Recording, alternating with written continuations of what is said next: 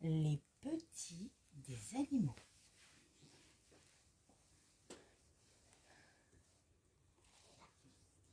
Maman vache et son petit.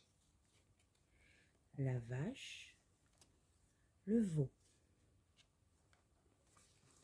Maman mouton et son petit. La brebis et l'agneau. Maman canard et ses petits, la canne, les canetons.